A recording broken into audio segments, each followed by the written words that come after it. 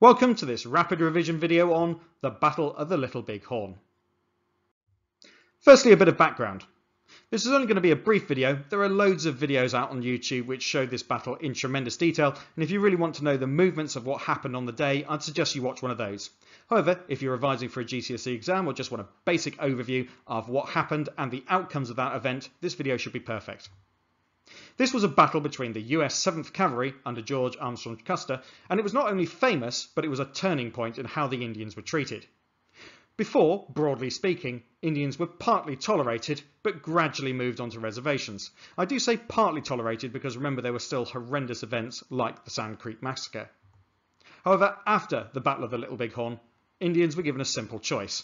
Either become like other US citizens, assimilate, or die whether by starvation or under the guns of the US Army. A bit of background to the battle then. Why did it occur? In the 1868 Second Fort Laramie Treaty, the Black Hills had been guaranteed to the Sioux. A picture of the Black Hills is shown below. It had been guaranteed that this would be left to the Sioux as a sacred site in perpetuity, which means forever. However, in 1874, all of that changed. Men building the Northern Pacific Railroad, protected by Custer's 7th Cavalry, discovered gold. Thousands of gold prospectors flooded into the Black Hills, leaving the Fort Laramie Treaty in tatters. The Sioux rejected US government offers to buy the Black Hills for $6 million and instead began raiding the prospectors. The Sioux gathered around the chiefs Sitting Bull and Crazy Horse, who, remember, had refused to sign the 1868 treaty, but President Grant insisted that from December 1875, any Sioux that had not gone back to their reservations would be attacked by the US Army, presuming them to be hostile. Heavy snow made this impossible, as in, it made it impossible for the Indians to return to their reservations. But in any case, Sitting Bull said, the whites want a war and we will give it to them. He had 2,000 warriors and 5,000 other Indians with him. In June 1876, they met the, the US Army at the Battle of Little Big Horn. Firstly, you might be wondering why it's called the Little Bighorn.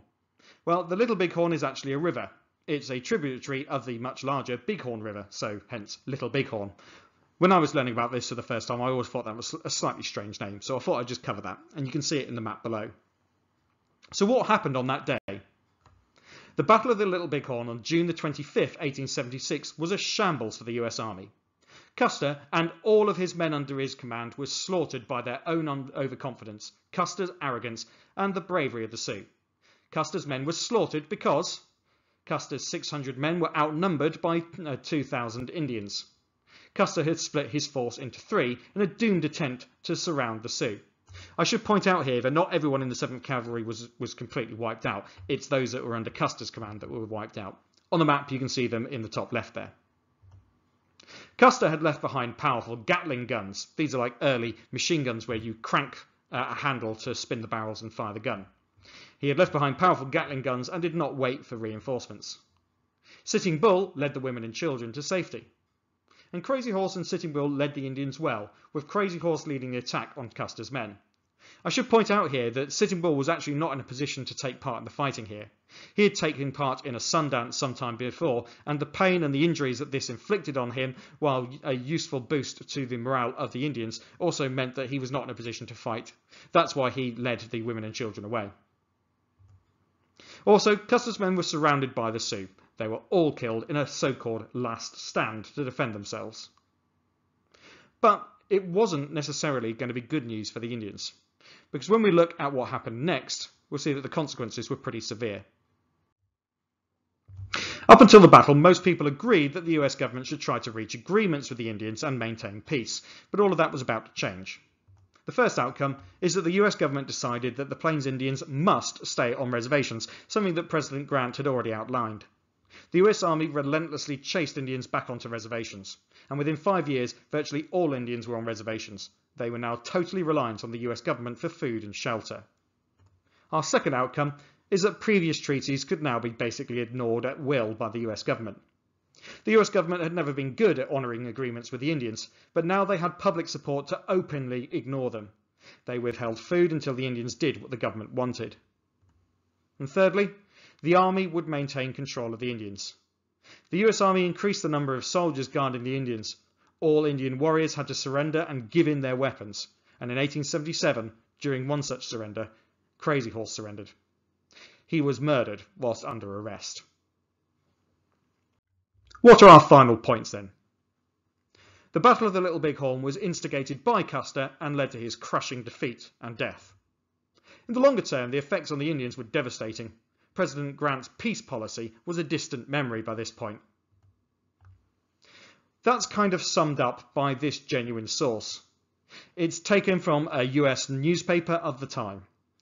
I don't like the language in it, but I've included it because I feel it really sums up just how severe attitudes had grown towards the Indians in the wake of the Battle of the Little Big Horn. And the newspaper article said, It is time to quit this Sunday school policy and let Sheridan, uh, who was the commander in chief of the army in the West, exterminate every Indian who will not remain up on the reservations. The best use to make of an Indian who will not stay on a reservation is to kill him. It is time that the dawdling, which means slow and aimless, maudlin, which means a sort of foolishly sentimental, peace policy was abandoned. Very harsh words indeed, and things were only going to get worse for the Plains Indians. And in a future video, we'll look at how the Plains Indians' way of life was ultimately destroyed. That's the end of this rapid revision video. I hope it's been useful to you, and if it has, please like the video and subscribe to the channel for more. If you've got a comment to make, especially in terms of whether you've got uh, another topic that you're desperate for me to do a rapid revision video on, then please pop it in the comments below and I'll see what I can do. But for now, that's the end of this video. I'll say thank you very much for watching and tune in for more at another time. Goodbye.